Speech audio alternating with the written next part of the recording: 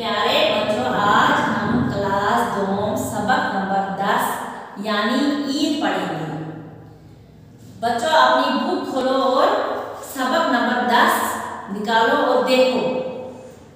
रमज़ान शरीफ की उनतीसवीं तारीख थी, यानी रमज़ान शरीफ की ट्वेंटी नाइन्थ तारीख थी दिन था।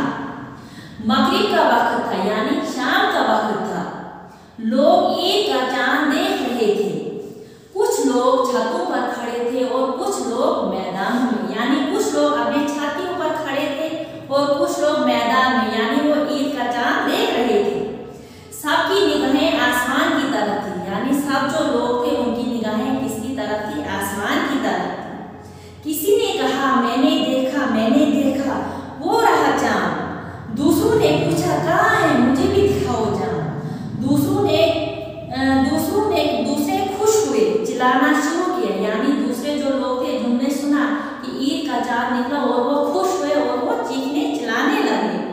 वो देखो निकला ईद का प्यारा प्यारा चाँद।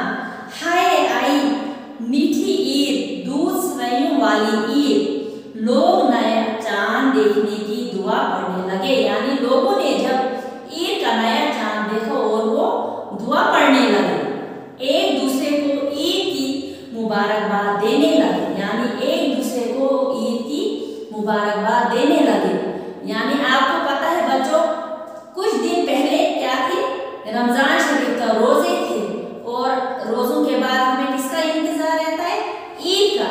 यानी ट्वेंटी नाइन दिन जब होते हैं तो हमें इंतज़ार रहता है, आज ईद है। यानी आज शाम को मगरिब के वक्त चाँद दिखाई देगा। लोग देखते हैं, एक दूसरे को पूछते हैं, चाँद निकला कि नहीं निकला? फिर आपने देखा कि आधी रात को चाँद निकल आया था।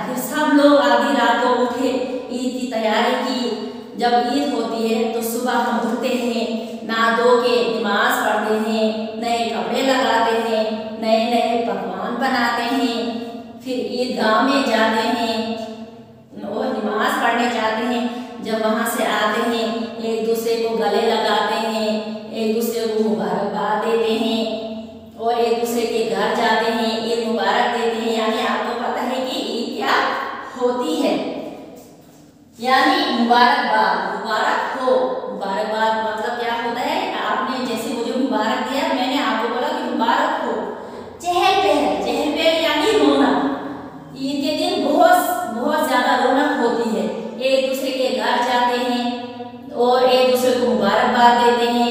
नमाज़ पढ़ के आते हैं नए नए पकवान खाते हैं, बनाते हैं। तो इसी को क्या बोलते हैं? इसको ईदी बोलते एक दूसरे को ईदी देते हैं। इसको क्या बोलते हैं? ईद बोलते हैं। तो बच्चों लेसन नंबर टेन निकालना